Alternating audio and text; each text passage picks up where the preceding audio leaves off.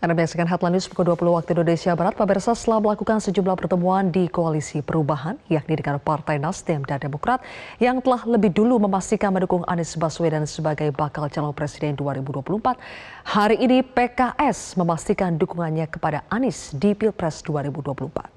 Hal tersebut disampaikan Wakil Ketua Majelis Syuro PKS Sohibul Iman yang merupakan perwakilan PKS di Koalisi Perubahan melakukan pertemuan dengan Ketua Majelis Syuro dan Presiden PKS di Turki. Pernyataan kepastian PKS hari ini dalam memberikan dukungan kepada Anies Baswedan setelah Nasdem terlebih dahulu mendeklarasikan dukungan kepada Anies pada pekan kemarin.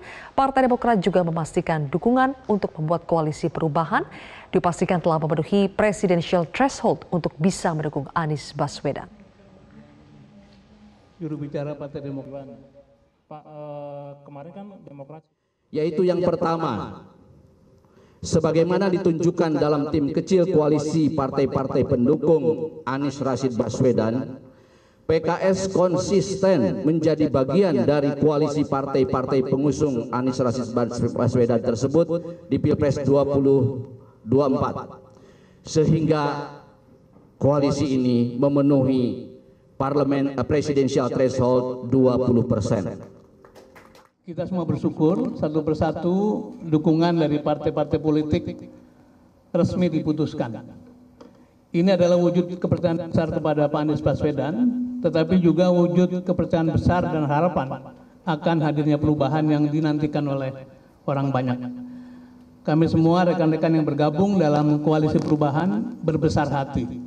Karena pada hari ini Pak Anies adalah bakal calon presiden yang pertama mendapatkan dukungan resmi dalam jumlah yang cukup.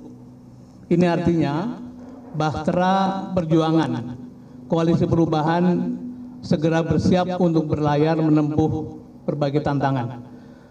Selanjutnya dalam waktu dekat para pimpinan puncak partai politik akan bertemu untuk menyusun menyepakati piagam koalisi dan pada waktunya insya Allah akan dilakukan deklarasi bersama seluruh partai politik pendukung Pak Anies Baswedan. Kami mohon doa dan dukungan dari seluruh rakyat Indonesia agar semua ikhtiar memenuhi tugas konstitusi ini dapat berjalan dengan baik dan memberi manfaat sebesar-besarnya bagi Republik tercinta.